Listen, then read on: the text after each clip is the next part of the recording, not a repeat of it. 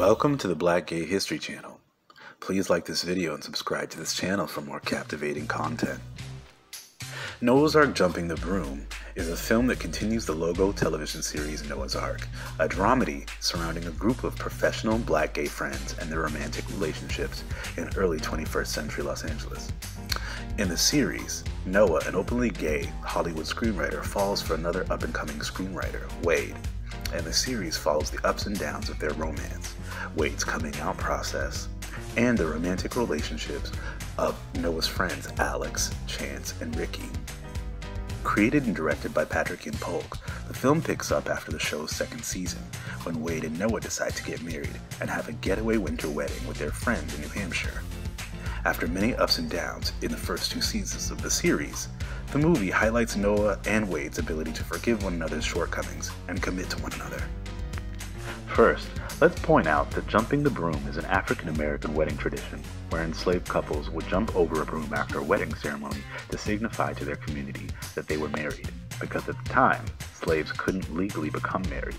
Today, many African Americans honor this tradition to honor the struggle of our ancestors endured to get to where we are today.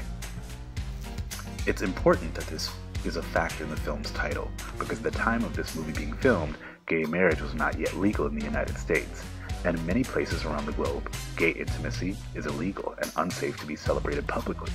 Many black gay men around the globe are still jumping the broom to be with their partners, so to speak.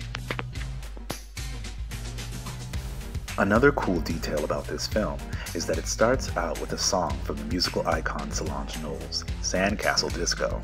The Knowles family, of course including Solange's older sister Beyonce, have cemented themselves as allies to the LGBT community, and this song being on the soundtrack is another testament to their support.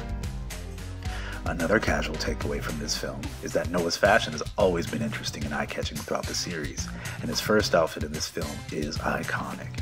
It doesn't hurt that both Darryl Stephens and Jensen Atwood are very easy on the eyes and make a compelling movie couple.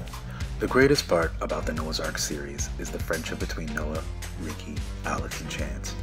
Patrick Ian Polk's commitment to showing black gay men as affluent, successful, supportive friendships is not lost on us. Many black gay men feel starved for representation on screen, especially positive representation, and Patrick Ian Polk purposefully created films for black gay men we were not seeing anywhere else, especially in TV and film productions during 2006.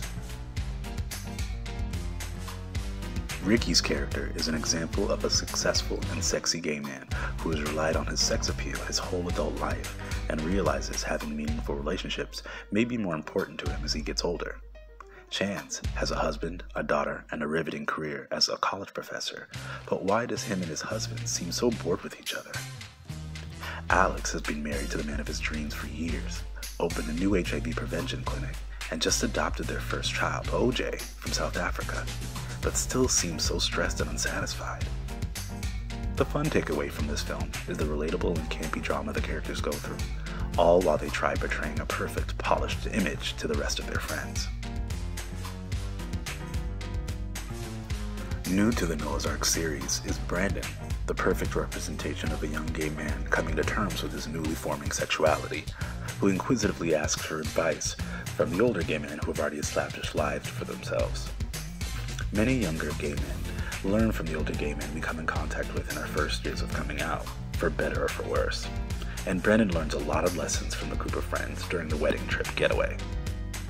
There's even more fun to be had on this winter wonderland getaway when Noah's pushy but fabulous boss Brandy and the sexy and hilarious DL rapper Baby Gat show up to throw a monkey wrench in the wedding plans.